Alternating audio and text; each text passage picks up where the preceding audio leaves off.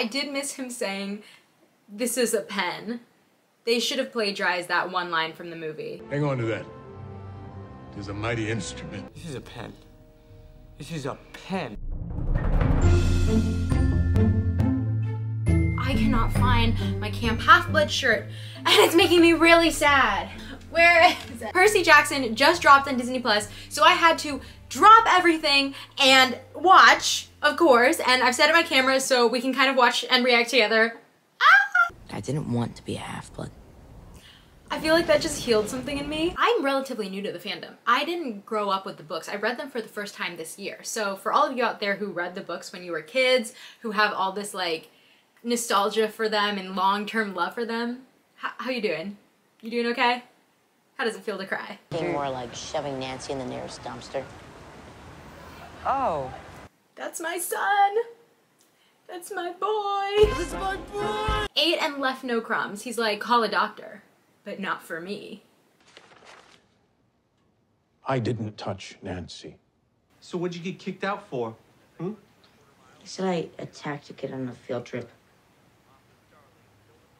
Okay. All right. But still, please, could you have them put the peppers on my sandwich? Gabe felt, Gabe felt a little, like, I don't know, sanitized.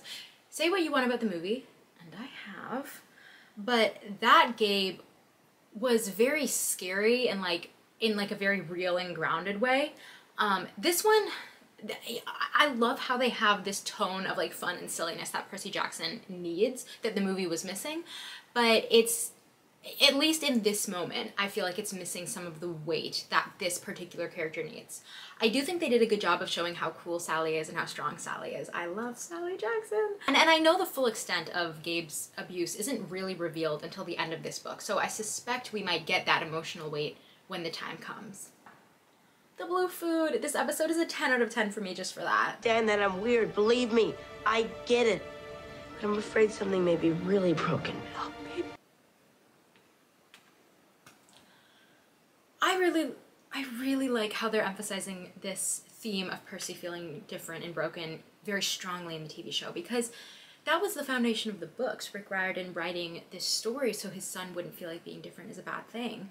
And that's what made me fall in love with, with Percy Jackson because, you know, I missed reading these as a kid. And like I said in, my reading vlog, the first time I read it, I, at first I was like, oh, is this, is this gonna be is this like too young for me? Am i gonna be able to get into this? Like i don't know the if, if it's if it's for me. But i and i'm sure a lot of you who who grew up reading to escape to other worlds because you felt like you didn't fit in um, can relate to the idea of feeling like something's wrong with you of, of feeling like you're different. Um, and and so to have a story where those parts of you that make you different are actually your strength. That means so much to me.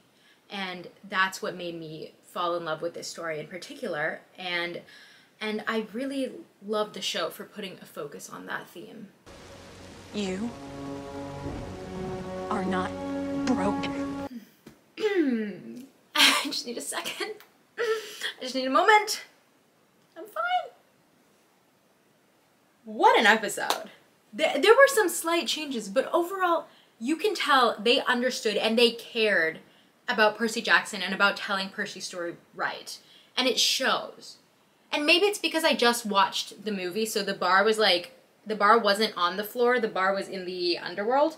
Um, but that felt very, very faithful to the books, and more importantly, faithful to the heart of the books. Because as I've said, I don't need adaptations to follow every single detail exactly. I mean, of course, it's, it's nice. It's nice when they do, but like, as long as they keep the heart of the books and the characterizations correct, that's what's important. And to be honest, I don't really even want adaptations to be like word for word exact to the book because then, you know, we have the books for that. We don't need an exact replica of the books. I think what a great adaptation does is it can build on the story in a way that really benefits the story on to episode two because I don't need to sleep. You drool when you sleep. Annabeth!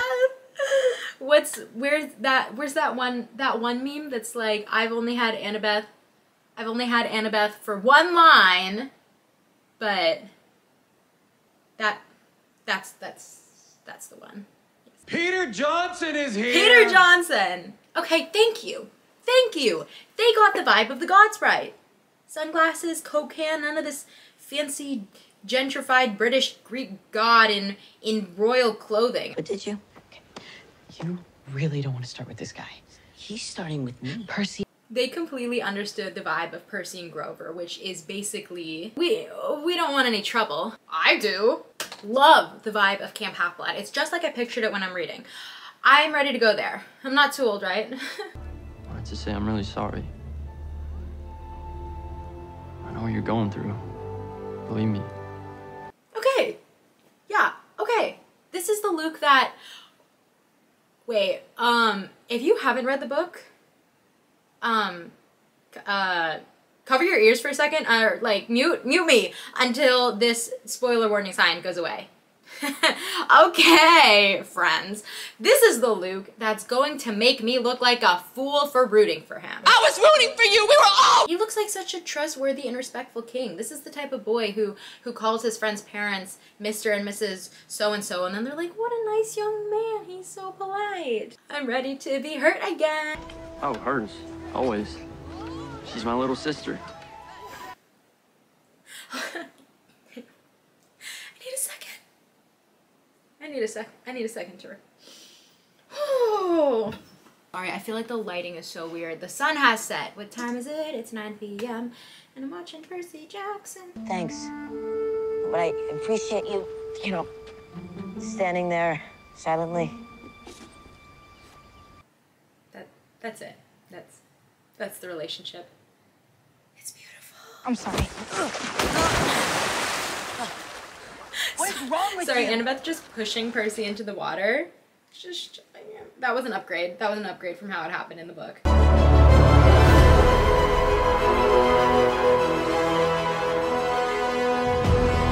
Your dad's calling. That was just how I pictured it happening.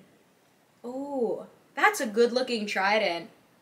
They spent all the money on the trident, so there was no VFX budget left for the Hellhound.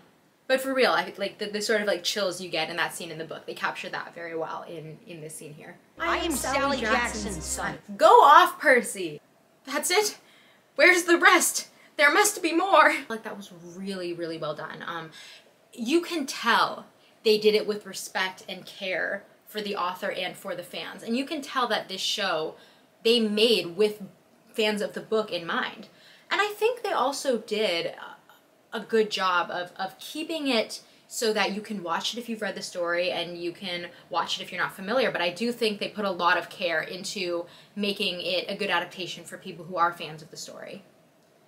But again, I didn't grow up with Percy Jackson. I I'm I'm a relatively new fan, so I would love to hear opinions uh, about the show from people who maybe grew up with it, or maybe maybe from people who who haven't even read the books, or or if you're like me and you're in the same boat, boat and you read the books for the first time this year. Like, let me know what you think. I'm really curious to hear what everyone thought. I think what really made me happy was watching the behind the scenes video of Rick Riordan, Uncle Rick. So I'm I'm Chinese, and we call people like auntie and uncle as a sign of respect. Like if they're an old, like your friend's parents or someone like older than you. Uncle Rick, yes. It feels very like respectful. But watching him react to the series and just seeing how much he loves the cast and and how much he loves the series was was so nice. Yes, Annabeth. He actually told her, he said, no matter what people say about you, remember I chose you. And that just makes me so happy. He is such a supportive king. All right, like I said, let me know your thoughts in the comments. I can try to do more episode reactions if people are interested in seeing them. I'm just excited to be watching this with you guys. And I just wanted to say thank you for getting me into Percy Jackson because I hadn't had plans to read it. And then so many people were telling me like, no, you have to read the series, you have to read the series. So I'm, I'm now enjoying this and getting to experience it with you and because of you. And so thank you. If you enjoyed that, please like or, and, or subscribe. I always feel so weird saying that at the end of every video. Maybe I'll just cut this. Please, uh, spare a like in this wretched YouTube economy. Is there a good Percy Jackson, like, closing phrase? If this was a Harry Potter themed video, I could say, like, mischief managed, but is there, do we have a catchphrase? Like that I could end a video with?